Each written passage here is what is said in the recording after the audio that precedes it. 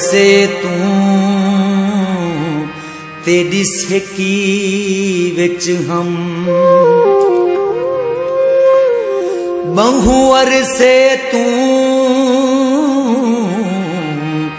ਤੇਰੀ ਸਕੀ ਵਿੱਚ ਹਮ ਅੱਖ ਸਿੱਕਦੀ ਗਈ ਦੀਦਾਰ ਕਿਤੇ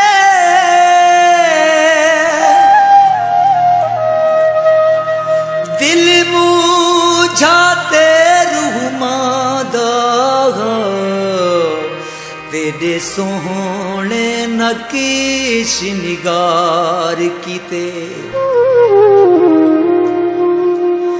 ਤੇਰੇ ਨਾਲ ਹੈ ਮੈਂ ਕੋ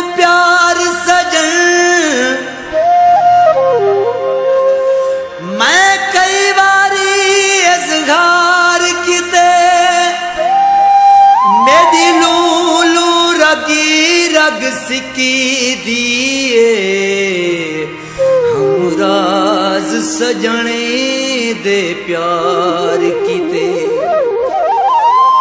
ਕੋਈ ਪਾਣੀ ਪੀਤਾ ਕਰ ਤੇ ਜੋ ਬਨ ਢਲੀ ਬਨ ਲਈ ਇਹਦਾ ਨਖੀਰਾ ਨਾ ਕੀਤਾ ਕਰ। ਤੇ ਜੋ ਬਨ ਢਲੀ ਬਨ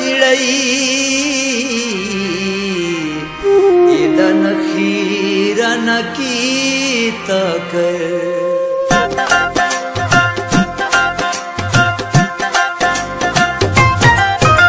س جيئن ياري س ٿا هي دي سڻ جي يار مي سڻ ٿي گا